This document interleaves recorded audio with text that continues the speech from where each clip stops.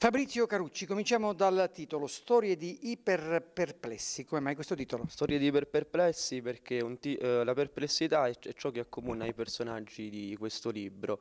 Perplessità intesa come voglia di farsi domande, di non accontentarsi dell'apparente, insomma quindi ricercare, di andare oltre quelli che sono i modelli televisivi dei vari tronisti, quelli che sono che il sapere promosso dall'università, un sapere che per quanto indispensabile è necessario, un sapere eh, mh, comunque accademico e per alcuni aspetti politicamente corretto. Quindi i personaggi di questo libro ricercano attraverso varie vie, guardandosi intorno, ricercano attraverso eh, film, documentari, letture, informazioni, ricercano altro, a, a, ciò che va oltre le palesemente visibili. Insomma. Come potrebbe essere la storia di chiunque, di, di un giovane qualsiasi che parte dalla, da, dalla periferia della provincia di Salerno, dal certo. sud del Valdiano, per poi andarsene, andarsene fuori, andarsene eh, a Roma, casomai. Eh, C'è un po' di autobiografia in questo libro.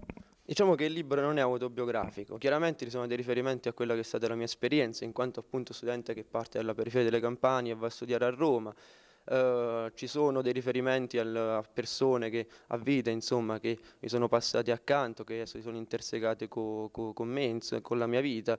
E di conseguenza chiaramente in ogni scritto probabilmente c'è qualcosa di autobiografico, certamente quello, uh, questo libro non ha uno scopo esclusivamente autobiografico e... Fabrizio, uh, che cosa ostacola soprattutto? Ecco, quali sono i tuoi ostacoli più importanti, più grossi che hai trovato sulla tua strada come giovane scrittore, come scrittore che per la prima volta si dedica dire, a questo tipo, chiamiamolo, di lavoro? Beh, quando un giovane scrittore si avventura nell'avventura appunto di scrivere un libro, uh, pensa comunque che sia facile pubblicare e quindi si rivolge ai grossi, alle grosse case editrici, quindi Mondadori, Feltrinelli, eccetera, eccetera. Dopodiché si accorge che comunque uh, una pubblicazione per uno scrittore esordiente è qualcosa di diverse, quindi deve partire da altri canali, quindi si comincia a spedire ai dattiloscritti, va a molte case editrici, dopodiché si scopre quello che è un po', un po', il mondo editoriale, si scoprono varie realtà editoriali italiane, piccole e medie, in realtà l'editoriale italiana è molto vasta. Varie fregature anche.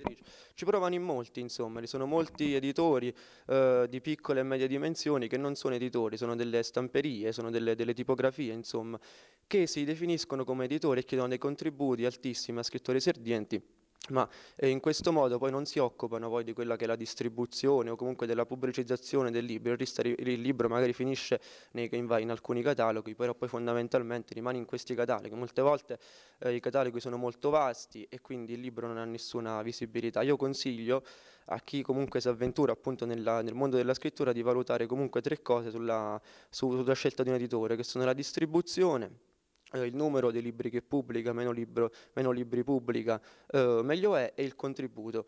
Eh, non deve chiedere un contributo, se comunque chiede un contributo non deve essere bassissimo. Il tuo primo romanzo, o ne seguiranno altri? Ne hai già qualcuno in mente?